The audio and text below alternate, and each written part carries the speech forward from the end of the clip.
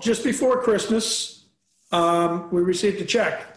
It's uh, December 23rd um, for unemployment. One for $275, which otherwise would be welcome news for someone out of work.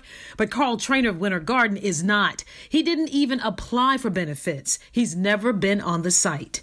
I was baffled. I never I've never been unemployed and never even filed for unemployment. He tried reaching out multiple times through emails and phone calls, never got a person, never heard anything back.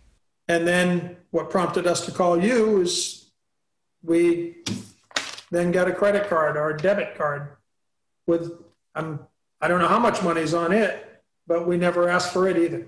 Trainer contacted his boss. They've never been contacted, so it's never been verified through my employer, and yet I still have an unemployment check. You know what scares me and what comes to mind is you think somebody used your identity, but then again, it went to you. So, but does that scare you at all? Well, actually, we discussed that, and that's really part of the reason why we called them, and we just haven't been able to reach anybody to make sure that that's not the case. He's going to monitor his credit, but just knowing there are unemployed Floridians still waiting on benefits and need the money saddens Trainer. We're extremely fortunate that it hasn't impacted us like others, uh, but I'd really like to see those others get this and get this check because they need it more than I do. I'm Gail Pascal Brown, WESH 2 News.